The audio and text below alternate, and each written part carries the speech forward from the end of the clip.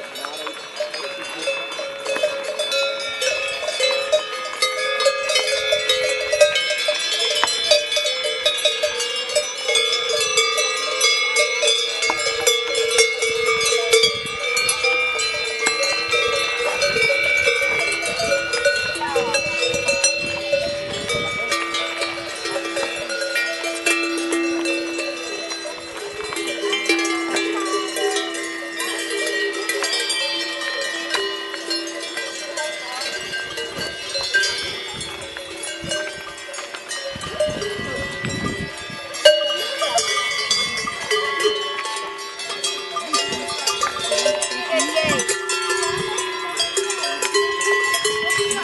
Ba mươi.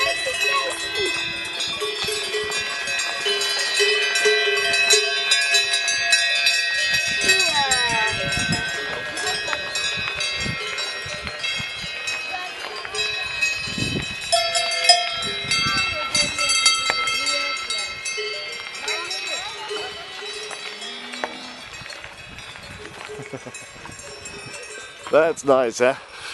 I grew up on the farm, so.